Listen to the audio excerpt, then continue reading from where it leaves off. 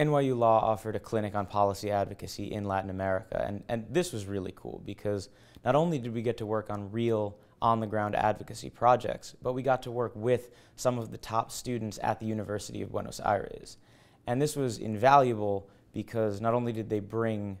their knowledge of Spanish, because we had to submit documents in Spanish, but they also brought a deep knowledge of the local customs culture and the legal atmosphere, which was extremely useful when working on projects in a foreign country where we don't understand the legal system quite as well.